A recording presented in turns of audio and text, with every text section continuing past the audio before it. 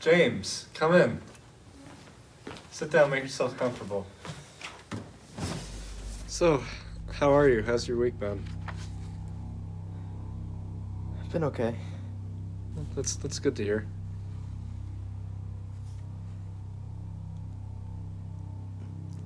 What are you writing in there? Oh, you know, just personal notes as usual. On what? I mean, like mood, behavior, etc. Alright, so tell me then. What mood am I in? Yeah, you're right. Let's just talk. What's it like in the big city? It's alright. I have a pretty big workload, though. Well, I imagine that quite stressful. Yeah, it's it's not easy, but getting through it. James? Is everything okay? James.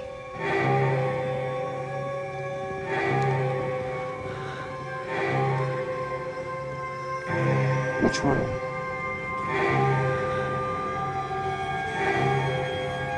James, are you okay?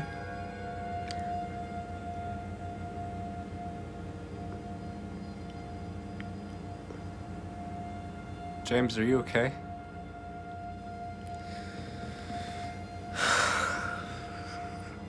No. I'm not.